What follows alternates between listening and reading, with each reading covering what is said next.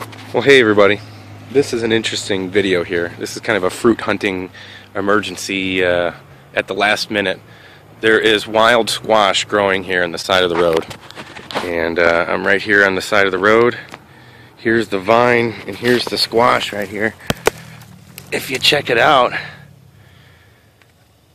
this is what they look like. Now, squash do grow wild in Missouri, Tennessee, Kentucky, and this is pretty neat. Look at this.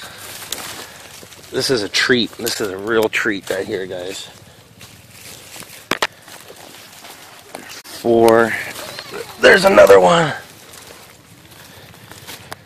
And they go all the way up this tree. If you can look up there, 15, 20 feet up, there's squash up there all the way in the top of the tree up there. And there's actually a rotten one over here too. Oh, look where a couple of them fell. I gotta get this. Wow, check this out. Look at the long stem on this, guys. This is a wild native variety of squash fruit. Look at the long stem. Just growing wild here along the side of the road. And uh, this is pretty cool, guys. This is pretty cool. I'm going to look into this a little bit more. I know that there are wild varieties, and Native Americans used to grow them around here hundreds, if not thousands of years ago. And uh, it's one of the only things that is known for uh, the United States. Natural domestication by Native Americans. Summer squash growing all the way up the trees. So I'm gonna go check this out and uh, get back to you guys.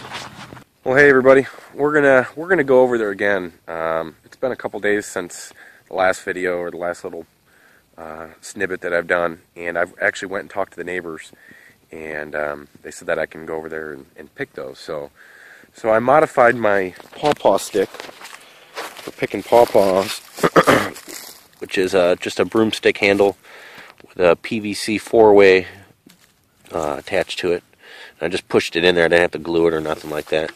And I took a five foot piece of PVC and I took my Dremel down here, if you can see that right there. I kind of ground it down with my Dremel and made like a little hook to snag it. And uh, this is just half inch PVC. So we're going to go over there and uh, see if we can get some more. I thought I saw about four or five more little tiny guy on the side. So let's go walk down there. Alright, well here we are back there.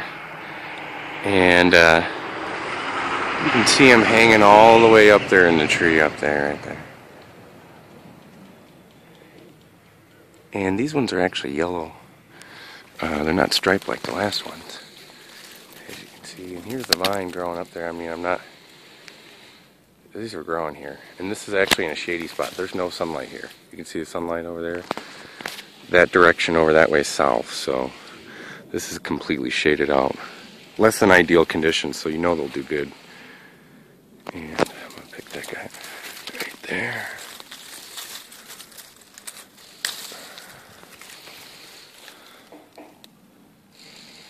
Check that out.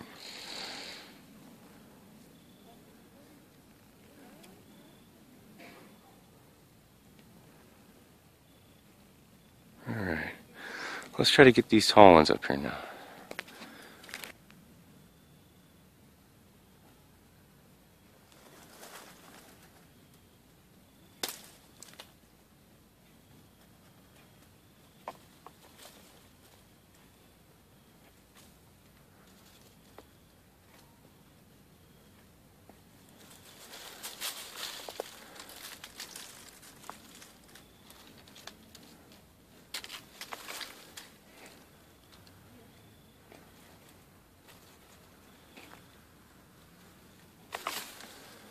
Alright, I'm going to put the camera down. Alright, well, I just got back from down there, and uh, I got three of them, and I walked back and showed them to the neighbors, and they've never grown them before. Um, they'd never seen them before. They thought it was a pawpaw, and I was like, no, they're not pawpaws. They're a type of wild squash slash gourd. You know, you say gourd, people kind of understand what you're talking about. But um, here's the three that I got. And uh, this has been a pretty cool fruit hunting video. I gotta say, I really enjoyed doing this. When I seen these, I freaked out. And you could see in the beginning of the video how I was like, you know, could barely breathe and everything. But um, I'm pretty sure these were all on the same vine. They all look really similar. Um, these guys here have got the stripes. Uh, you know, the ones that I just got don't. Little ridges, bumps.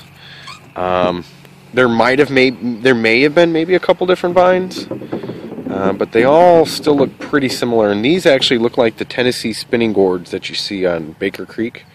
Uh, Baker Creek Seed Company, they offer these, and they look like the little green spinning gourds, um, just fully mature. If you could imagine. Now these don't have as long of a stem as these guys do. Um, but these guys, I think these ones here ripened more earlier in the season in the heat in the summer and just kind of hung on there and then these were kind of later on.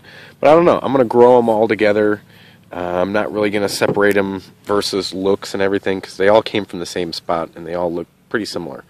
Um, but that's pretty cool. I'm going to grow a bunch of these. I'm not going to change up their growing conditions from what I where I found them. I'm still going to grow them in like a brush type of area, let them grow up trees, but I'm going to give them um, some more sunlight and hopefully some better soil and uh, see what happens and hopefully get some bigger ones and I'm pretty sure these are probably going to be the only squash I'm going to be growing from now on. That's pretty cool. Wild squash, guys. I'm going to put a link down below in the description um, that I that I just recently stumbled on, and there's a there's a squash is native to the United States. It's indigenous, and Native Americans actually domesticated these. And uh, there was a expedition to the Ozark Mountains um, that the Smithsonian led, and they actually discovered a wild species of summer squash, the ancestor of today's modern summer squash that you grow in your garden.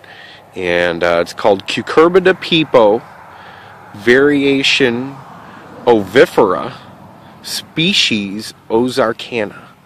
And uh, because they found it from the Ozark Mountains, they named it species Ozarkana. Now, um, Cucurbita pepo ovifera is what they call common gourds. You know, those ornamental gourds that you see for sale uh, to decorate during Thanksgiving and Halloween and everything like that. Um, and the reason why it's called ovifera, it's because it uh, looks like an egg, an ovary. Think ovary, ovifera, egg. And um, that's pretty cool. But yeah, Ozarkana is a wild, they found wild populations of them growing in isolated areas in the Ozark Mountains. And we're in the same climate, same region, same area. Native Americans that were here were also over there. They, I'm, I'm not too far from Missouri and from the Ozark Mountains.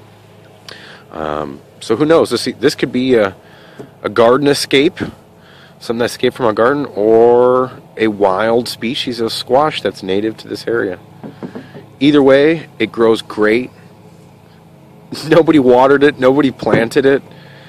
Um, there's a there's a good bit of little squash here. You know, my summer squash I planted this year did horrible. It did it was dismal. It didn't do hardly anything. And yet here there is right down the street wild summer squash growing up a tree. You know, nature's always giving you signs. It's just you got to you got to see it, you know.